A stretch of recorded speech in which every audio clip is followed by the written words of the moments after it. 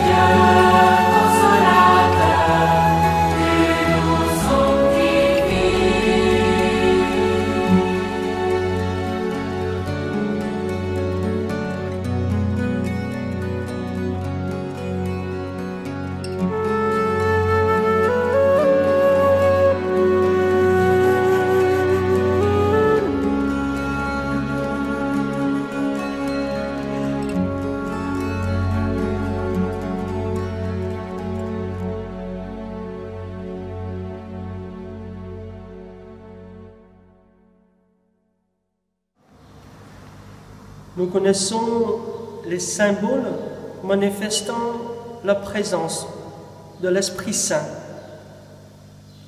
comme le vent, la colombe, le feu, l'eau et l'une. L'Esprit Saint participe activement à la création de notre monde sous forme d'un souffle il accompagne la mission du Christ jusqu'au bout.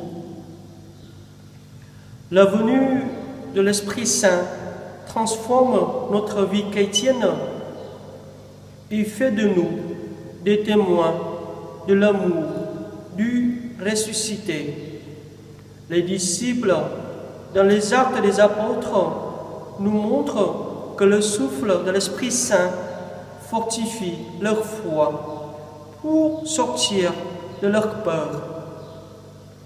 L'ouverture du cœur à l'écoute de l'Esprit Saint permet à nous tous de comprendre l'essentiel de notre foi. L'Église fait face aux épreuves quotidiennes, mais elle est toujours solide et forte.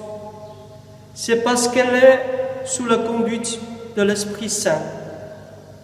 Chaque étape de notre vie chrétienne est marquée par la grâce de l'Esprit Saint. Le baptême, la première communion et la confirmation. L'événement de la Pentecôte est lié au projet de salut du monde voulu par le Seigneur. L'œuvre de l'Esprit Saint nous fait connaître davantage la Sainte Trinité en nous permettant de méditer ce mystère d'amour, Père, Fils Esprit. Depuis le jour de ma confirmation, je ne cesse de vivre pleinement ma vocation baptismale, la joie d'un chrétien est d'être témoin et de faire de nouveaux disciples. Je me permets de dire que l'Esprit Saint est l'auteur principal de l'action de la prière dans les situations moins évidentes. C'est lui qui inspire notre esprit communautaire en Église lorsque nous avons besoin de son aide. Il agit en nous et avec nous pour former une Église de fraternité et de communion.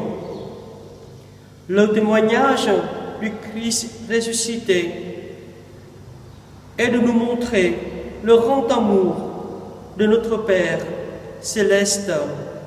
Il est animé du même esprit. Laissons-nous habiter par le don de l'Esprit Saint pour vivifier notre foi. Et je reprends avec vous cette prière composée par notre évêque Monseigneur François Touvet. Viens, Esprit Saint, viens en nous, viens parmi nous, viens visiter l'église de Chalon, nous t'en prions. Fais de nous des disciples de Jésus, apprends-nous à le connaître, à l'aimer vraiment. Donne-nous faim de sa parole et de son Eucharistie. Change nos cœurs pour accueillir la volonté du Père. Fortifie entre nous l'amour fraternel.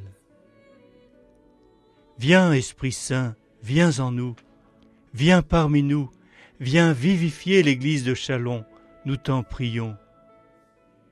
Fais de nous des missionnaires de l'Évangile, guéris nos peurs, donne-nous de l'audace, envoie-nous vers les périphéries, fais de nous tes témoins.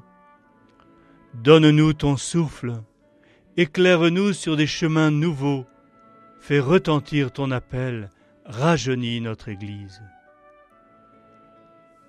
Viens, Esprit Saint, viens en nous, viens parmi nous, viens bénir l'Église de Chalon, nous t'en prions. Nous voulons être des disciples de Jésus et des missionnaires de l'Évangile. Avec Marie Notre-Dame de l'Épine, fais de nous des disciples missionnaires. Amen.